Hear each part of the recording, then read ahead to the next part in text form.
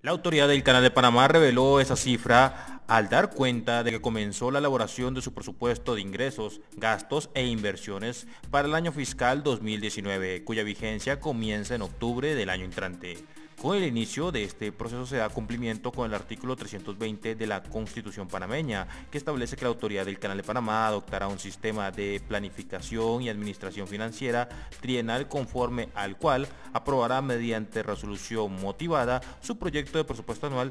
que no formará parte del presupuesto general del Estado.